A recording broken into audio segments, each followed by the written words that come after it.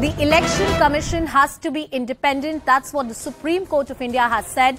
The top court has said that the panel must pick the poll panel chief, Prime Minister, the leader of opposition, Chief Justice of India to pick the Chief Election Commissioner. Unanimous judgment by the top court. You'd remember that there was a litigation that was ongoing at the Supreme Court of India when it comes to the election of the Chief Election Commissioner, the manner in which he is appointed, and that entire debate ensued at the Supreme Court of India. These are orders which are being passed.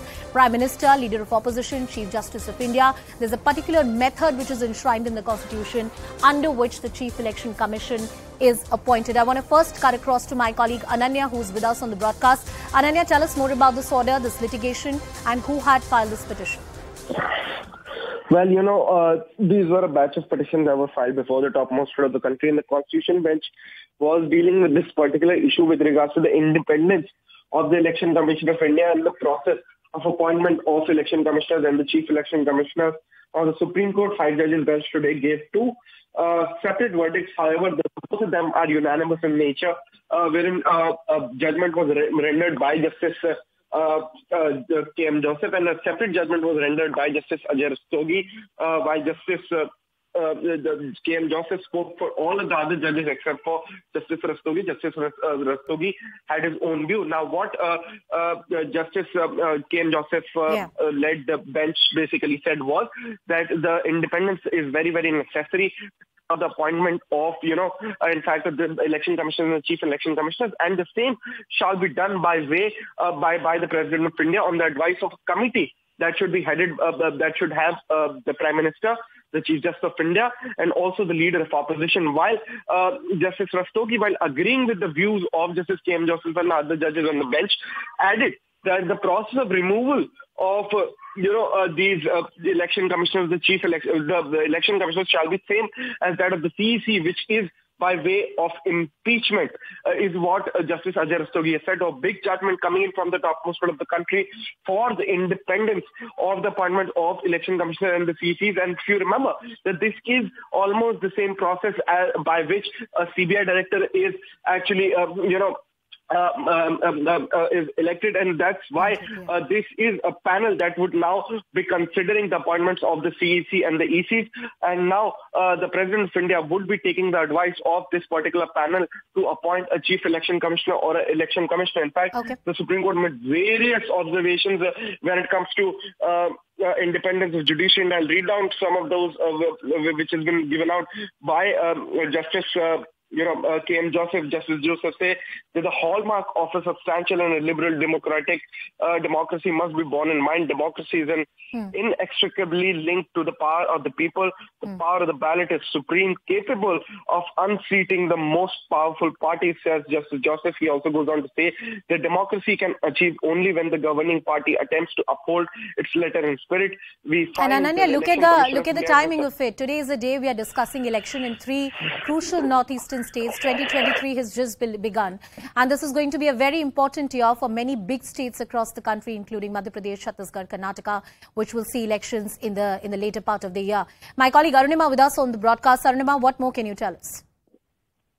So Ananya just told us about the verdict from the Supreme Court. We are waiting for any reaction uh, from the government side because this will be called a big setback for the government. Uh, what was being alleged uh, is that uh, that uh, you know appointment. This is the allegation that was coming in from uh, the opposition that constitutional bodies, including the, the likes of the election commission, were getting compromised. This was a constant allegation that was being made by opposition. So they will hail it as as a victory, and they will definitely paint this as a setback for the government. But is there any other legal legal recourse available that the government is considering? Uh, this was a constitutional bench, a five-judge bench, which has come up with this verdict, and has just told us that this was a unanimous unanimous verdict. Uh, the only only difference in opinion was that should this be limited only to the appointment of the CEC, or should this also be in place if a if an election commissioner has to be removed? The only background that we can think of, a precedent that we can think of in recent past, um, is that of uh, election commissioner Lavasa, uh, who was uh, moved out before his tenure ended.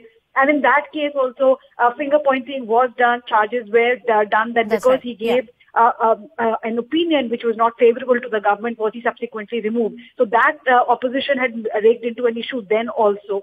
Uh, so, so this verdict in a, in a way uh, will have to be considered by the government and its legal team uh, to decide the impact of it Um, you know, we, we were just talking about how this is coming on a day when northeastern states are telling us about their mandate, and we are running up to assembly elections in crucial states, and then to the 2024 general elections. In that backdrop, what changes? What is it that the government is planning? We're just waiting for them to tell us. Okay, Arunima, we'll just request you to stay on with us. We'll request Ananya also to stay on with us. We have Majid Memon of the TMC now joining us.